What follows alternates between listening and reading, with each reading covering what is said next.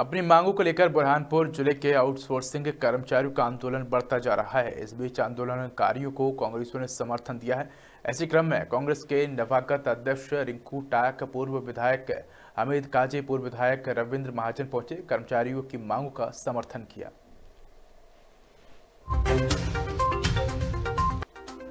मांगे उनकी जायज़ है। आज इस महँगाई के दौर में इतनी कम तनख्वाहों में किस तरीके से गुजर बसर होगा? ये तो माननीय मुख्यमंत्री को सोचना चाहिए कि वो किस तरीके से कर रहे हैं। ये जो इतने सालों से लोग लगातार काम कर रहे हैं। इनकी मांगे पूर्ण रूप से जायज़ है। तो कांग्रेस की सरकार बनती है तो निश्चित रूप से इनको परमानेंट करने के लिए हम लोग पूरी तरीके से प्रयास करेंगे।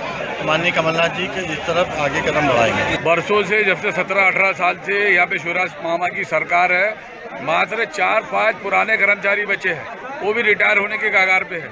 हमेशा इन्होंने स्थायी अस्थायी बना कर रखा, इनको स्थायी करना चाहिए परमानेंट करना चाहिए। आठ हज़ार, दस हज़ार में किसका परिवार नहीं चलता, स्थायी हो जाके तो इनका परिवार चलेगा। आने वाले चुनाव में कमलनाथ जी की सरकार बनती तो हम आश्वासन देते हैं कि इनको पूरा स्थायी करेंगे। माननीय मुख्यमंत्री शिवराज सिंह चौहान जी ने हर वर्ग को, हर कर्मचारी संगठनों को कुछ न कुछ दिया है। और इन लोगों की मांग भी जिनाइन है, क्योंकि इतनी बड़ी अपनी जान जोखिम में डालकर ये रात को दिन को अपनी सेवाएँ देते खम्बर पर चढ़ते। हैं कई बार कई लोगों को देखते हैं कि करंट लग, लग कर वहीं पर लटक लटक जाते हैं। तो उनको जो दूसरे कर्मचारियों को जो सुविधा मिलती है वो इन लोगों को भी मिलना चाहिए। लेकिन माननीय मुख्यमंत्री जी इस विषय में अपनी एक समीक्षा करेंगे और जो जिनाइन होगा वो जिनाइन इनकी बात को मानते हुए माननीय मुख्यमंत्री पूरा करेंगे।